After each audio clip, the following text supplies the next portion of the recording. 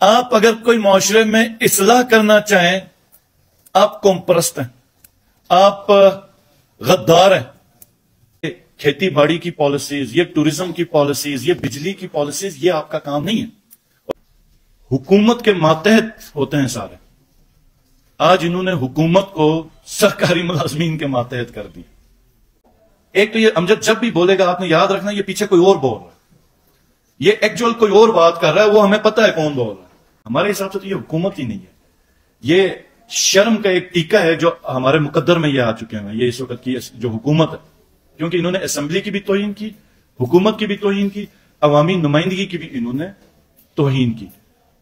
वो कौन सा ऑफ़िस था जहाँ पर अदम एतमाद की तैयारियाँ हो रही थी?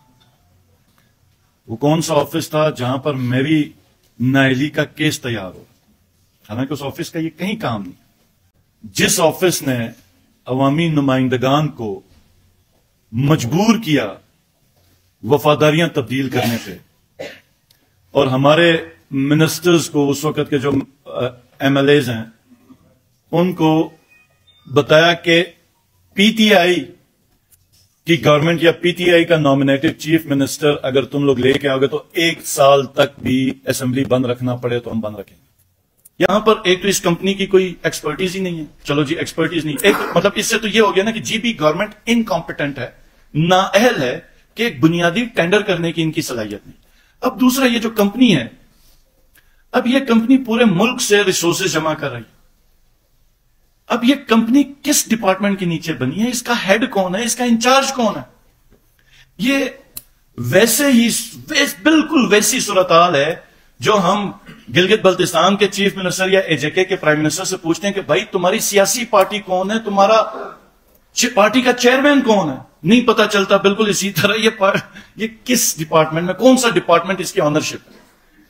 मैंने ज़्यादा इस एग्रीमेंट को नहीं पढ़ा लेकिन कुछ जगहों पर यह कहा गया कि ये एक बोर्ड होगा जिसमें से जीएचक्यू के भी होंगे जिसमें से आ, कुछ टूरिज़्म डिपार्टमेंट से भी होंगे वफाक से भी होंगे। ये बोर्ड बन रहा है कि ये टूरिज़्म का कोई काम हो रहा है कि ये जेआईटी बन रही है किसी क्रिमिनल इन्वेस्टिगेशन की। ये क्या बन रही है? हम बसद एहतराम बसद एहतराम है। आर्मी चीफ और जितने भी हमारी आर्मी की की उनको अल्लाह का वास्ता दे के कहते ये फौज हमारी बड़ी प्यारी फौज है। हमें इससे मोहब्बत है।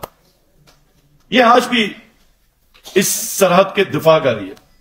और मैं नीलम गली में अभी होके आया हूँ। मैं मिनी मरक में भी मैं काफ़ी विज़िट करके आया मैंने, मेरी मुलाकातें हुई, मैं वो मुलाकातों का अहवाल नहीं बनाना, बताना चाहता। लेकिन ये मैं अल्लाह का वास्ता दे के कह रहा हूँ कि ये गवर्नेंस के इशू में मत पड़े। ये मत पड़े। यहाँ पे तनकीद होती है, यहाँ पे क्रिटिसिज्म होता और फिर ये सारा किसी एक इंडिविजुअल की वजह से वो पूरे के पूरे इदारे पे चला जाता ये आपका हर हरगिज काम नहीं है इस चीज़ का, ये सिविलियन गवर्नमेंट है इसकी। ना आप इसमें पॉलिसी बनाए।